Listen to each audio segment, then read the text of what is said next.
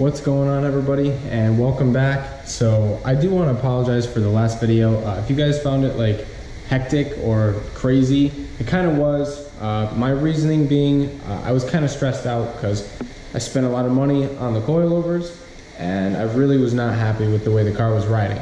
But that being said, I'm gonna stop talking crap because I got this thing raised up to like a reasonable ride height and it actually rides really good now and I'm very happy with the way that it rides.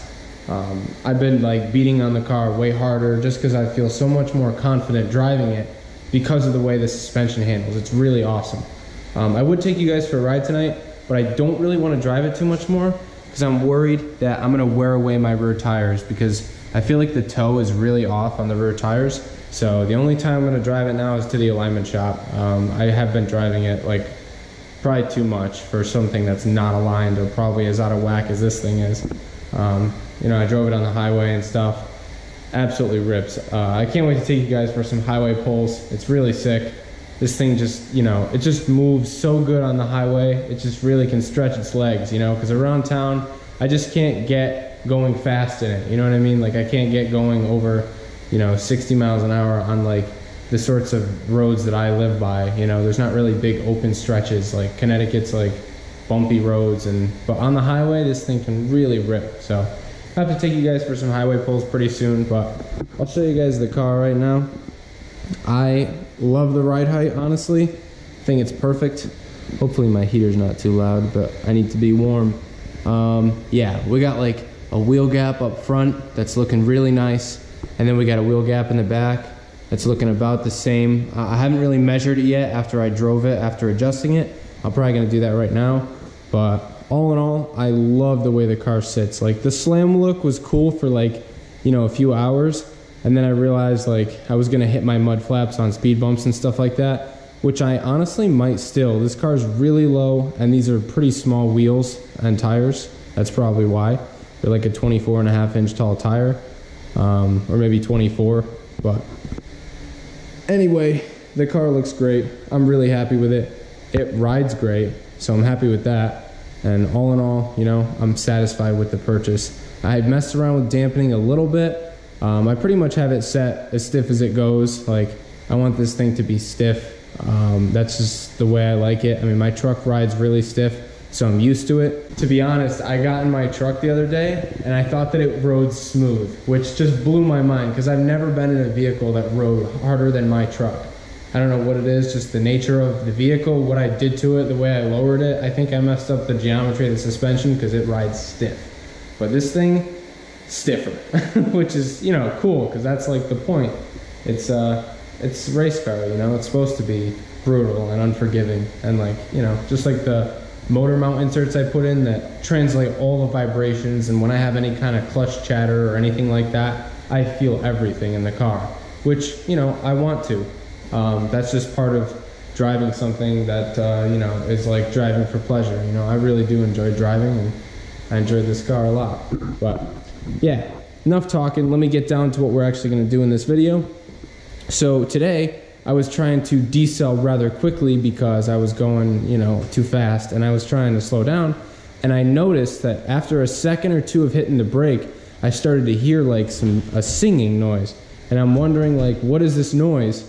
And uh, I, I do think that it was brakes. And, you know, I have put brand new pads and rotors on the front of this thing. They're ceramic pads and everything. It's all pretty nice stuff. I know that that's not making the noise.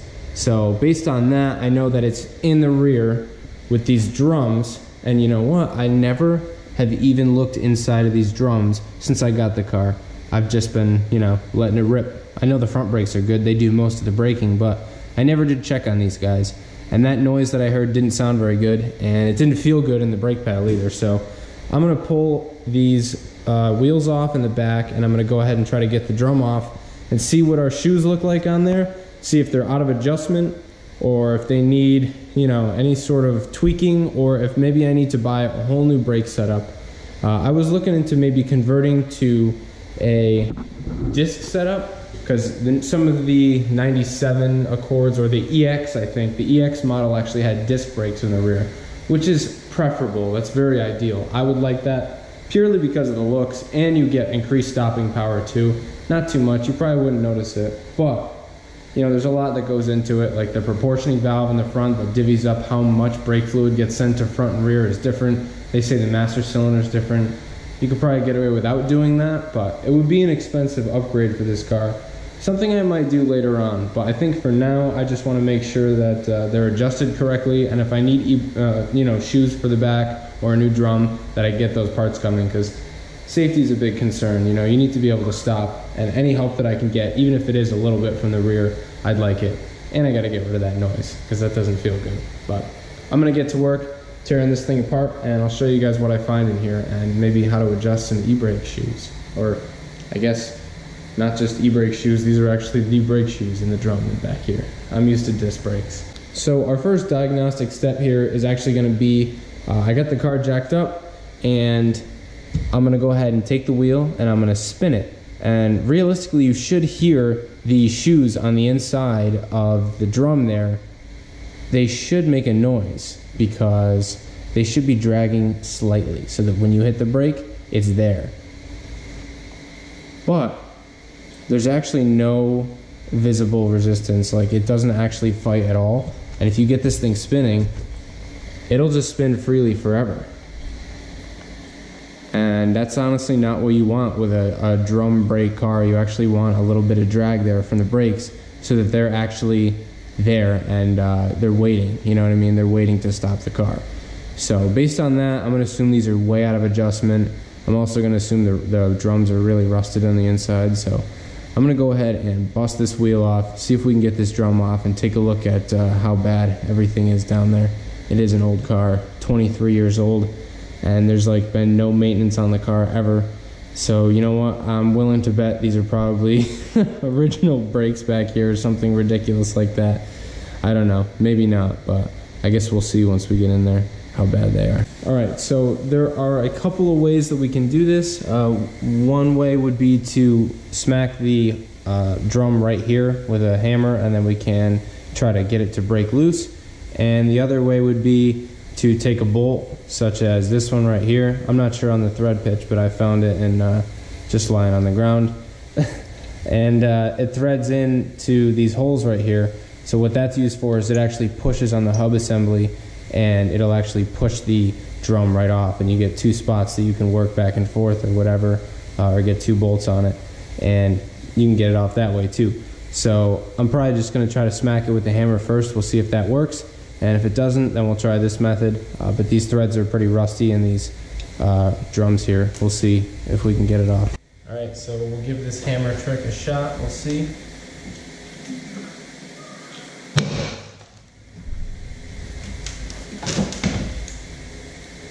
I don't know about that. I think it got loose. Try again.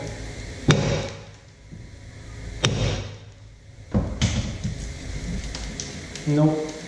I may have to try the bolt, guys. This is uh, not doing it. All right, so I'm gonna try this method here.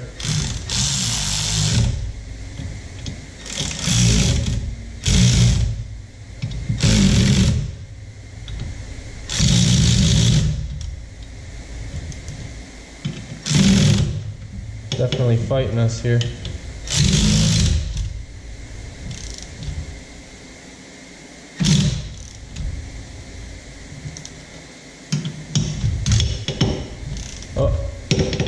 Popping. I hear it. Gotta get this side up to speed. There we go.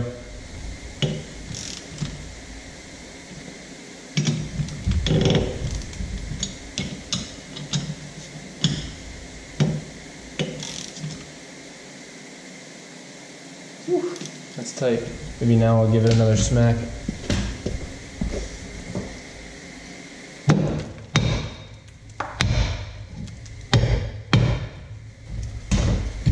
All right. Getting loose now.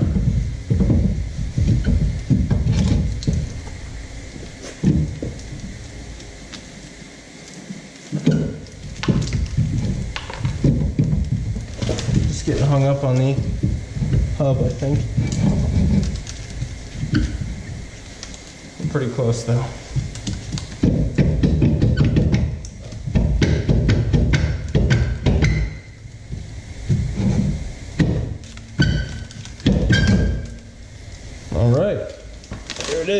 Along with a ton of brake dust.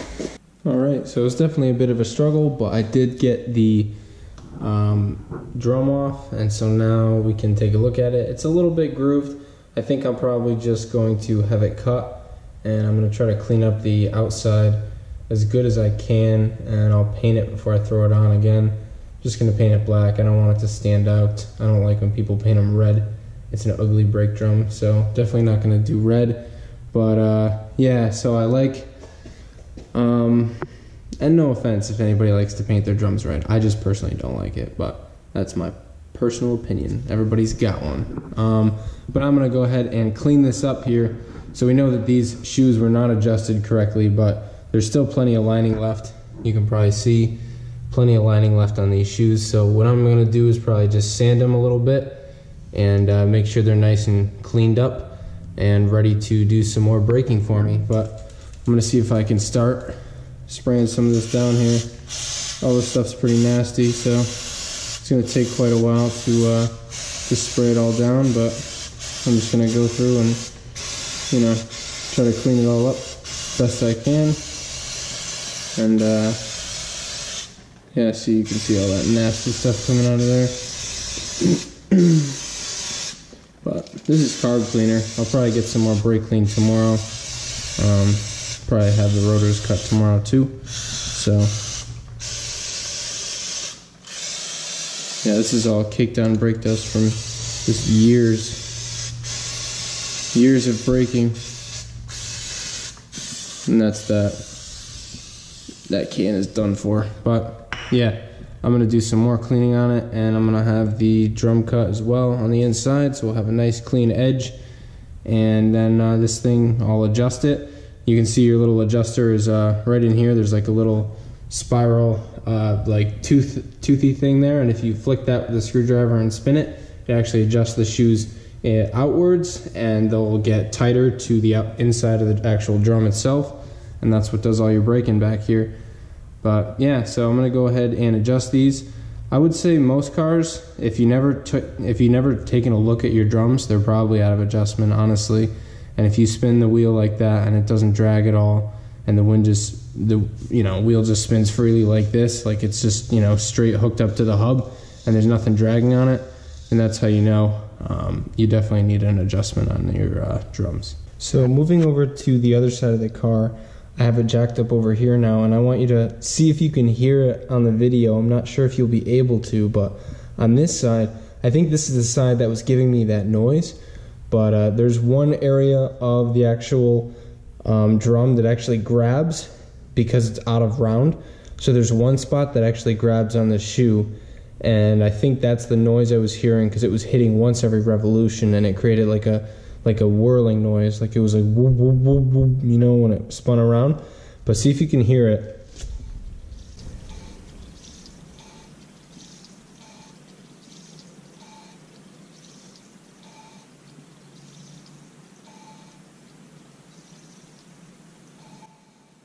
Yeah, so it's just like a scraping noise. So it looks like it is, or sounds like it's hitting in one area. So I think we have a bit of an out of round um, drum there. So we'll see if getting them cut fixes our problem. So I'm gonna go ahead and bust this other one off so I can have them both cut. So it's the following day and I have the drums right here. They were turned on a, it's like a brake lathe. It's got like a, a carbide tip and you sort of set it and then it actually moves the, the tip or the rotor, I'm not really sure, but it just kind of cuts a straight line all the way across and it makes sure that the surface is nice and cleaned up.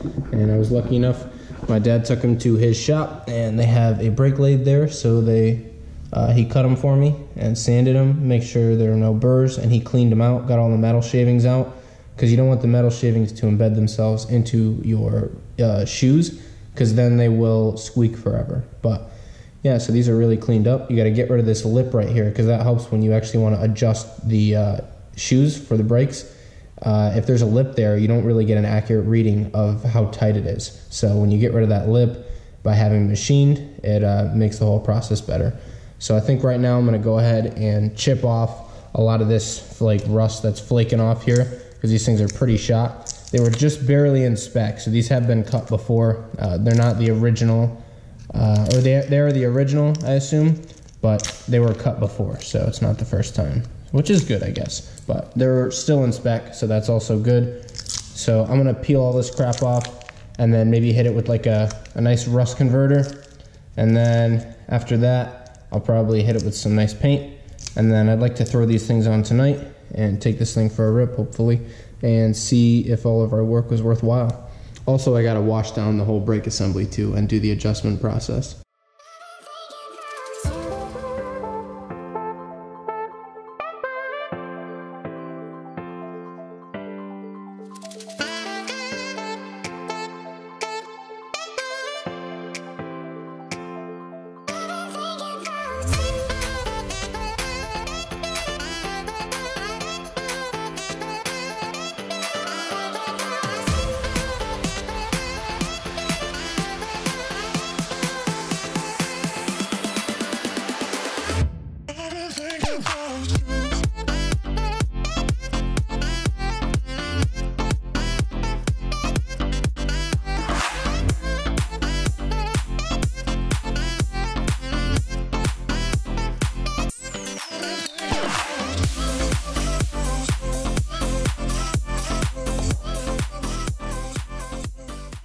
So that was like painstaking. Like that took me way too long to chip all the rust off of it. Most people would probably just buy new drums, and I probably will eventually. But for right now, I'm trying to keep this uh, budget, and you know it doesn't uh, make me go faster, but they are going to work just as good as new drums, so that's fine with me. So what I got here is a little bit of rust converter. So I'm going to hit it with this, and they say you're supposed to wait 24 hours or something, but I never do. So I'll hit it with this, let it dry, and then I'll hit it with a little bit of black paint, and then we'll be uh, good to throw these on, hopefully.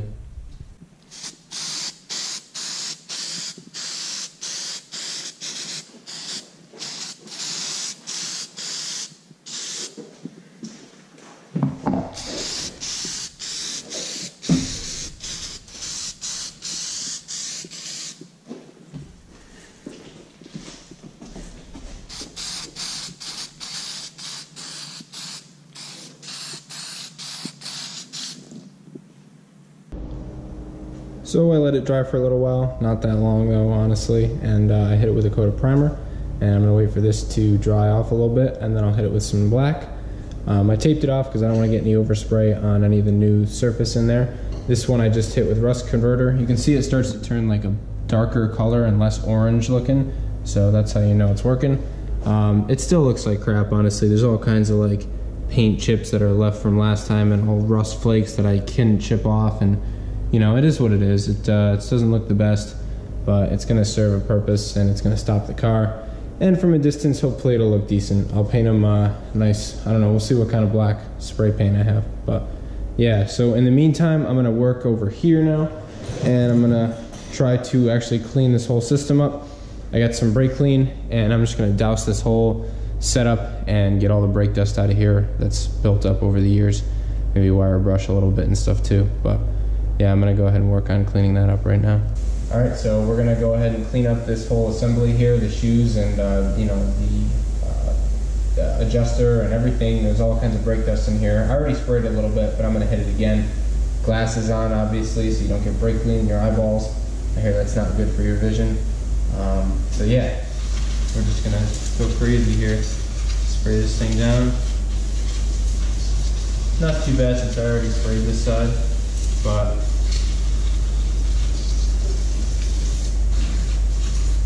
Just gonna get on the side here.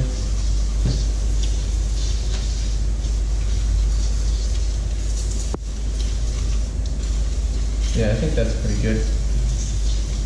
It's pretty much sprayed down. So we'll let that dry. I'm gonna go ahead and spray the other side.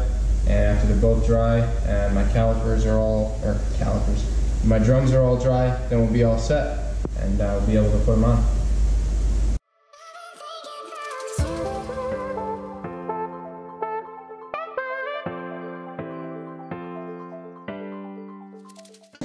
So in an effort to uh, speed up the drying process here, I got my propane heater cranking on these guys. They're hung from some bungee cords from my garage. And we'll see if we can get these guys to dry while I go eat dinner. And then when I come back, I'll uh, try to do the adjustment procedure. But they're looking pretty good. paint job's not flawless, but you know what? They're much better than they were, so I'm happy. They're good enough for me for now. So, yep, just waiting on paint to dry now. So what I ended up doing was after everything dried up, I went ahead and I adjusted this side and I got it pretty tight. Um, you want it so that uh, when you spin it here, there's actually a bit of a drag and you can feel it on the drum itself. You may be able to hear it too. I don't know if you can hear it over the propane heater, but it does drag a little bit, which is what you want. It means the shoes are right there and they're ready to, uh, you know, apply the brakes.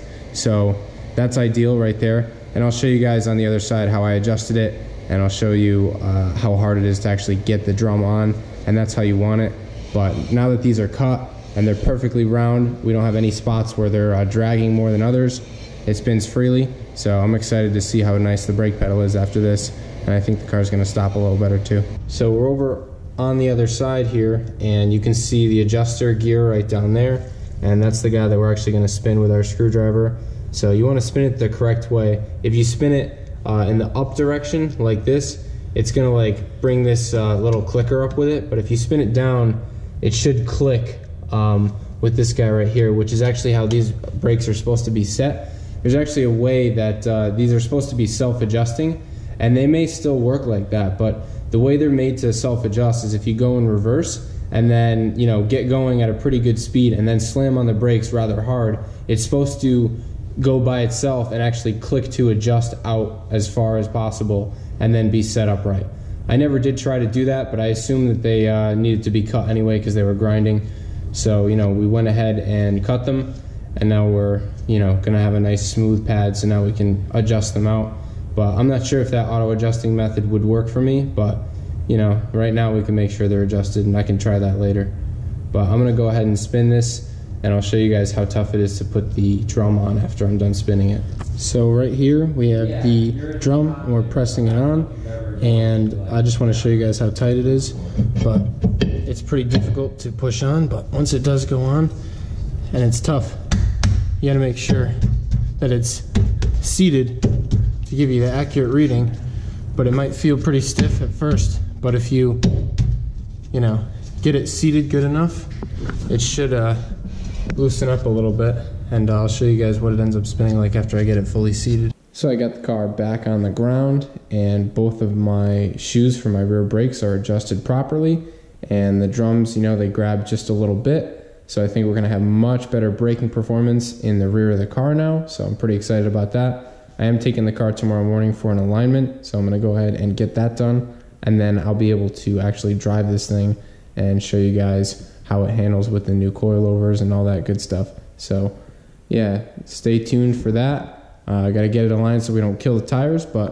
hopefully you guys enjoyed the video. And if you liked it, go ahead and like the video and subscribe to see more. Definitely going to have some pulls coming up soon. Um, the car is getting pretty dialed for the tune, so I'm excited. It's uh, it's really coming together. It's looking really good. So hopefully you guys are enjoying. And uh, yeah, stay tuned. Thanks for watching.